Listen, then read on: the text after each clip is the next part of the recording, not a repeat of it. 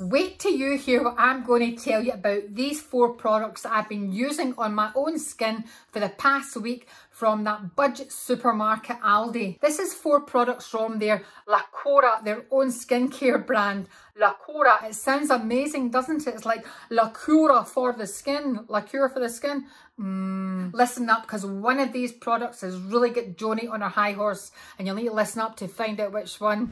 But before I go on, my name is Joanie. Welcome to my channel, Joanie Loves please could you hit that subscribe button and that bell. I know I say that in every video, but I'm trying hard to grow my channel and every little bit helps. Also, when you hit that bell, you will get notified. I'll come up in your feed and when I have a bright idea about another subject that hopefully regarding skin is going to be of interest to you, here's hoping.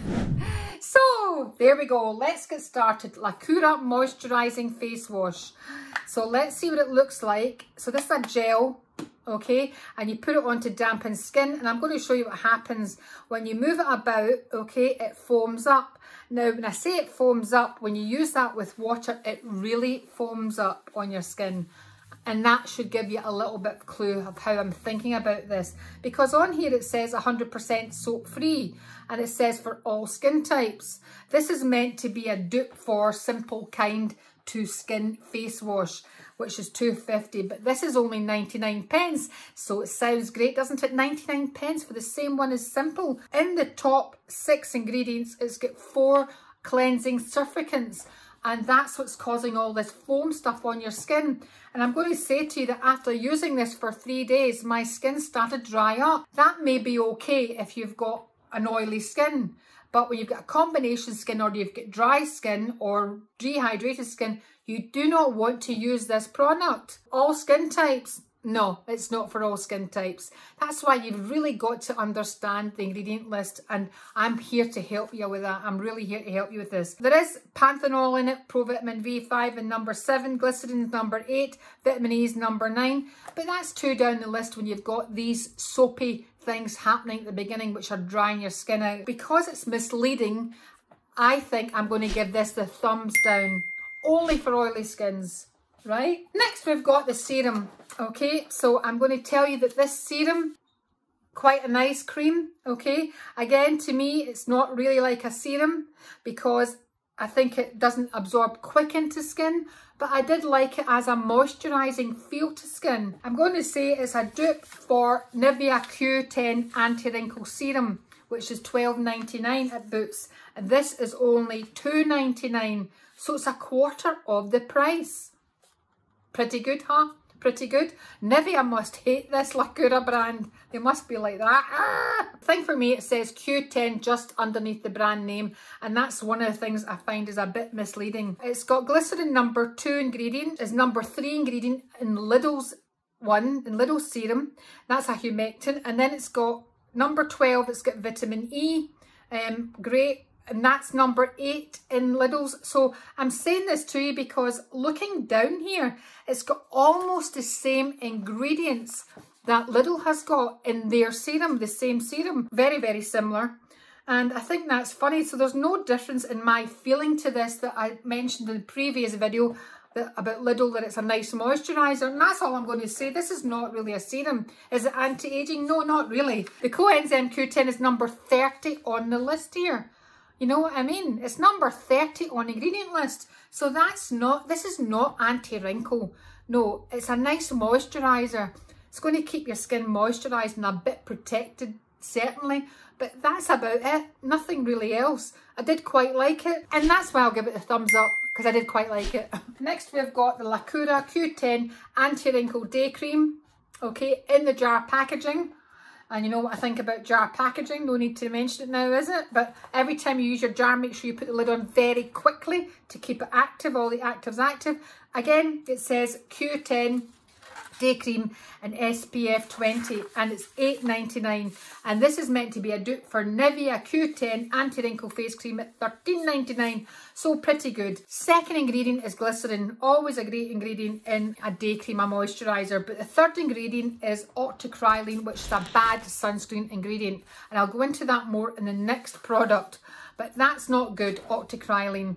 And then it's got um, shea butter number four ingredient, but it's got superstar ingredient niacinamide at number 11. Woohoo! And niacinamide is skin repairing and skin conditioning. If you don't mind the bad SPF at number three, the bad sunscreen ingredient, it's really uh, your own opinion. I'm here just to give you my opinion, but it's your opinion that really counts. Then this is okay. But here's the thing. I'm going to give this a thumbs down because of that ingredient, right? Octocrylene is a sunscreen ingredient that protects the skin from UV rays, but it's under FDA investigation just now. And it's been under investigation for some time because it's not coral reef friendly. It's not great for the ocean. It's not great for the wildlife in the ocean. And therefore, it's not great for you. It isn't. So for that reason alone, I'm giving this a thumbs down. All right. Um, I have to say to you that the, the cream is quite thick when you put it on okay quite thick um creamy but no I would not recommend that at all. Then we've got the beautiful silver jar that is the caviar cream and I got told to try this. I had people messaging me saying you need to you need to do a review on the, the one that's like caviar is meant to be in. I always think that's funny, isn't it? We're so programmed to take things in. Oh, let's get caviar in it. Must be really good. It's a real luxe cream. And this is meant to be a dupe for La Prairie. Now, this is six ninety nine. Okay? You can't whack it. Six ninety nine and La Prairie, the same cream, La Prairie Skin Caviar Luxe Cream is 427 quid. Wow, amazing, isn't it? I don't know that for sure because I have not checked La Prairie their ingredients. I will do that very soon, I promise, and tell you what I think of La Prairie and their ingredients. But seven quid for this. It's got an SPF of 15. Was it any good? So I'm going to just let you see it very quickly. Okay, I'm opening it up and I'm going to put it on. That's probably too much. Okay, but you'll see it goes on quite thick and I have to tell you that it's very shiny. Very, very shiny. Very, very, very shiny. So if you don't like the shine, you won't not like this product. If you've got an oily skin, you will hate this product. And if you've got a combination of skin like me, you fair chance you won't like it either because that oil does not go away. It still remains tacky. So it's great for maybe repairing the, the outside barrier of your skin, 100%. And that's great for the environment meaning that it'll protect you against environmental factors, I'm sure. But here's the bit that's really got me annoyed. It's got number three, that octocrylene, that bad sunscreen ingredient. But it's not just got that one. It's got another one, ethyl hexyl salicylate, which is a UVB filter, which is also under review by the FDA too. And it's got another one, which is number seven. Hard for me to say this one. Butyl methoxydibenzoyl methane, aka avobenzone, that's the other name for it. That's three very bad sunscreen ingredients that are currently under review by the FDA in this cream. And they're in the top, that's seven. that one I just told you is number seven ingredient. So we've got one it's three, five and seven. That is not good for the planet, not good for your skin. Think about this, okay? Certainly, you know, we come down to number 15 and we've got the stem cell daisy plant extract, which is soothing. And then we've got algae extract as number 21 ingredient list. You think the way they talk about caviar, it's going to be in the top five or 10. No, it's not. It's number 21. So here's the thing. It's not just got those three bad sunscreen ingredients, it's also got perfume, linalool, limonene. A lot of people are definitely sensitized by those two ingredients. Geraniol and ethyl paraben, methyl paraben, one, two, three, four, five, six ingredients, apart from the other three that are really not great for you. So, I know you're getting my drift now. It may look a pretty jar because it's silver and it may sound good, but check the label before buying a product that contains sunscreen ingredients. I will leave a link to an article in the description for you to read a bit more about it, but you really have to do that. We need to protect the planet. We need to protect the oceans, the wildlife, because in turn we are protecting ourselves, right? It's not all about these companies that own these brands, Aldi and Lidl, whatever, but Aldi is the one we're talking about today that's making all this money from us buying this. No, nevertheless, it's seven quid, but it's seven quid they're making from you to really not be healthy for the planet and for yourself.